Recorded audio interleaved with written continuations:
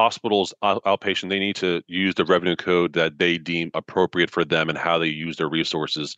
But we know that for cardiac imaging that resources are involving multiple different departments and that this doing a coronary cta requires resources that are different than if you were just to do a ct rule out pe study.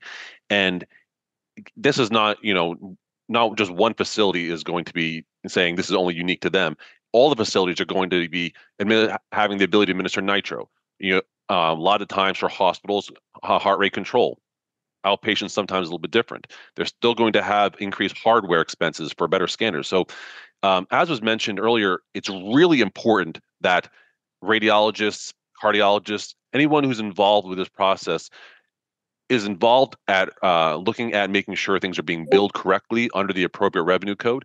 If a facility is not using a cardiology revenue code, engage in that discussion. Why does your hospital feel that that is not an appropriate revenue code to use? Are they getting some sort of uh, pushback elsewhere? Were they not aware that they could bill under a cardiology revenue code?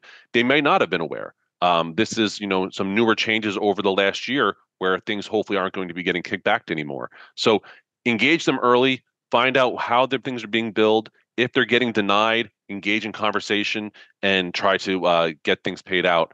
It's going to be really important to be involved early on. Yeah.